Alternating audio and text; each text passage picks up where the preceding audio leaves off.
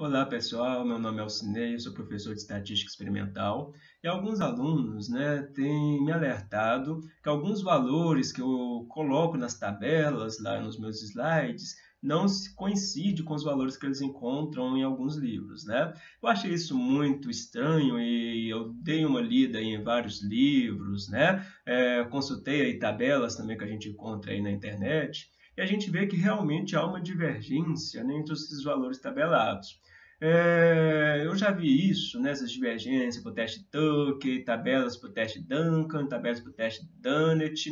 É, e o motivo disso, algumas vezes é bem justificado. Né? Às vezes, na própria legenda dessas tabelas, a gente encontra falando que uma é para testes unilaterais, outra que é para testes bilaterais. Outras vezes, essas informações elas nem estão presentes aí nessas literaturas, né? É, e fica muitas vezes difícil a gente saber qual tabela que é melhor a gente utilizar, é, uma vez que a gente encontra aí valores diferentes né, entre livros bem conceituados.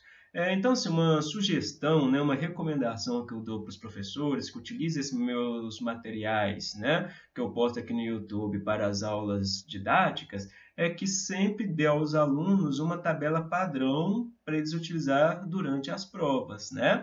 E a recomendação para os alunos é que sempre pergunte para o docente, né, para o professor, qual que é a melhor tabela para eles considerarem aí no decorrer das provas, né? Uma vez que pode ter essas divergências aí, consequentemente isso pode trazer grandes problemas em relação a estimativas de DMS e as letrinhas lá do teste de comparações múltiplas.